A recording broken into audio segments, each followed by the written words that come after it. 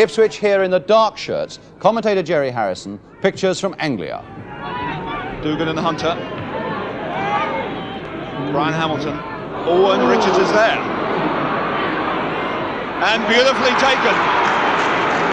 And Richards with his 32nd goal of the season, but the man who gave it to him is Bryan Hamilton. So Bryan Hamilton put under pressure, not too much pressure though, pumps it back to David Best, but Richards is there, of course in an offside position, but you can't be offside when you receive like that, and neatly slots it through David, David Best's legs. Viljoen beaten by Parkin. Mills. Oh, Viljoen, beautiful control. Whymark.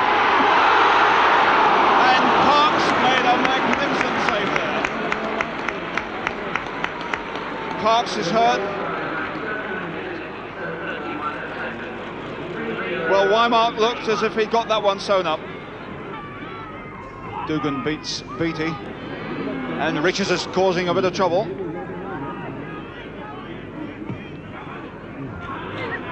Whymark coming to it, Parkin. Whymark doing so well to get that. Away by McCall. Dougan is not offside. Dougan's got a chance here. And a good save, a beautiful save by Best. And the Ipswich players still appealing to the referee, those of them not involved like uh, Bryan Hamilton here, that Dougan was well offside. But Hamilton going again.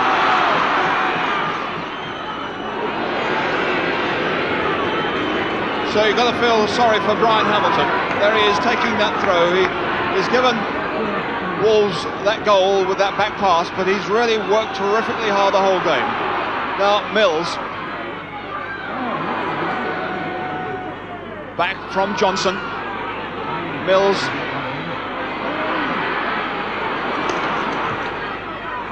Hamilton, and he still cannot get a shot at Parkes.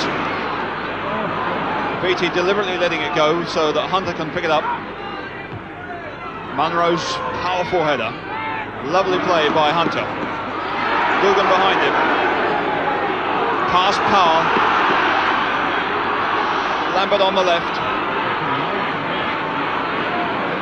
Bill John, Whymark and Johnson in the penalty area. Lambert still going. Hamilton, can he pull it down? Parkin's leg. Johnson and so many Wolves players there, and the ball never seemed even to get it through to goalkeeper Parkes. Mills tipped forward, and surely Viljoen being pushed off badly, and a punch-up developing between them, and quite definitely Viljoen was being pushed off before that cross came over. Viljoen then pushed Munro in return, and the punch-up's come and this will be grotesquely unfair if only Viljoen gets his name taken.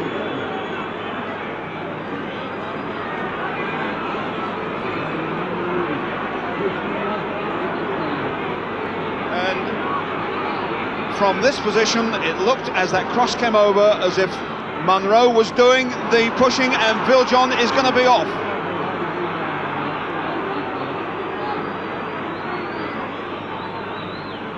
and there's a danger here of more than one of them being sent off, and indeed Munro is going off.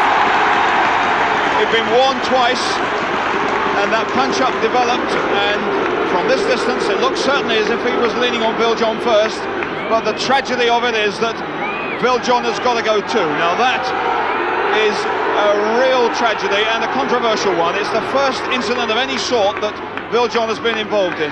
Munro, that's his third warning he's had in the game. He goes off, but the man who, who wasn't the guilty party to start with, he's got to go off with him.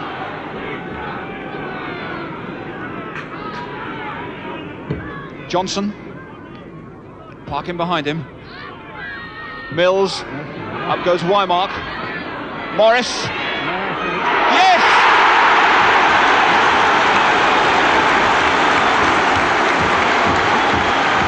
Peter Morris. A powerful shot, but it looked as if goalkeeper Parkes had it covered. And that is Peter Morris's first goal of the season, and what a vital one.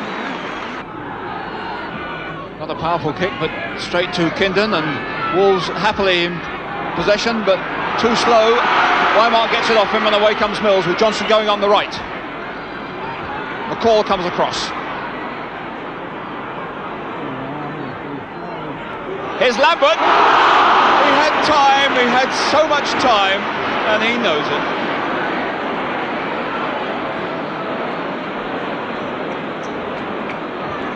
Now Kindon, will he get one of these runs going? Dougan's calling for it over this side.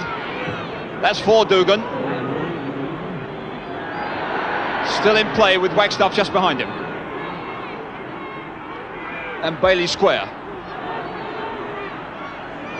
Past Harper.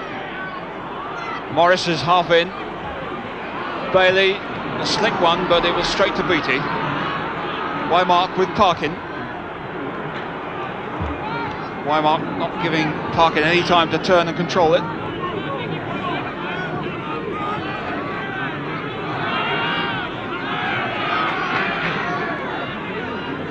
Johnson with Bryan Hamilton going past there, but off it goes.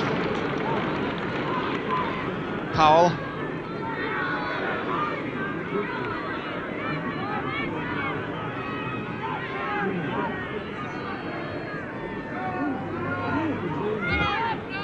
Straight to Harper. Lambert. Harper helping him on the left, will he have a go at Taylor? Pass him one way. Whymark.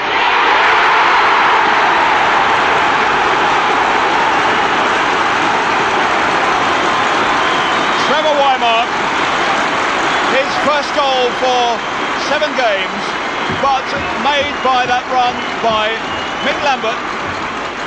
Mick Lambert looks as if he'd been shielded out of it. Turns past Taylor, puts one in, a cross which really didn't have too much power behind it, but Whymark getting low to it. He hasn't had the luck in front of goal, but this time made absolutely certain. And Ipswich 2-1 in the lead, and there's still 17 minutes at least left.